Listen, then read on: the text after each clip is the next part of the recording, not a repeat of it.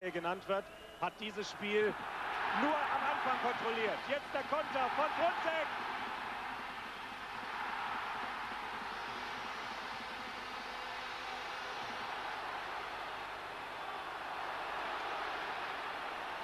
Oh, das war die Riesenchance, hier möglicherweise alles klar zu machen. Da hat ihm wahrscheinlich die Luft. Kraus. Das war Kriens Kopfball, der längste Mann der Borussia. 1,89.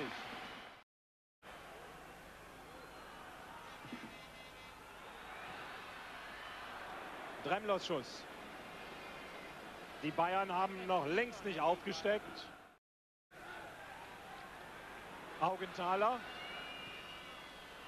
Oh! Man weiß ja von Klaus Augenthaler, wie der schießen kann. Und Tremmler sicherlich schuldlos. Oh Bayer! Haben Sie diesen leichtsinnigen Hannes gesehen? Glück für Mönchengladbach.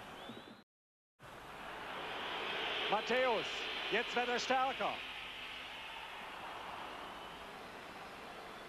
Vielleicht hat er jetzt die Hemmungen, die er zweifellos hatte in der ersten Stunde.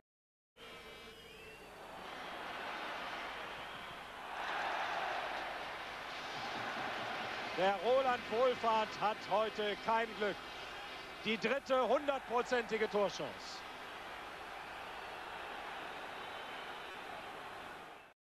Gladbach. So stand es schon in der 33. Minute. Und Hoeneß der Anschlusstreffer. Und jetzt, meine Damen und Herren, wird es mit Sicherheit noch mal ganz, ganz spannend. In der 87. Minute köpft Dieter Hönes sein zweites Tor in der laufenden Saison. Wie wichtig es wird, das wird man in drei Minuten wissen. Hier die Wiederholung, unhaltbar für Sude. Was machen die Gladbacher jetzt? Halten oder angreifen?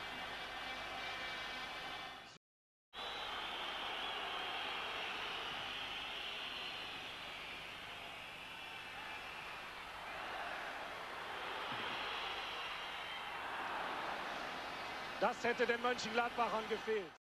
Ein Nachholspiel hat überholt werden könnte. Lothar Matthäus und in die vielen Pfiffe gegen Matthäus kommt der Schlusspfiff durch Schiedsrichter Niebergall, der das Spiel im Großen und Ganzen ordentlich über die Bühne gebracht hat. Riesenjubel bei den Gladbachern. Aufatmen sicherlich in der Bundesliga. Liebe Bayern-Fans, das müsst ihr verstehen. Die Bayern sind an der Spitze. Sie waren die beste Mannschaft der Vorrunde. Hier sah man mal ganz kurz auch den Trainer Udo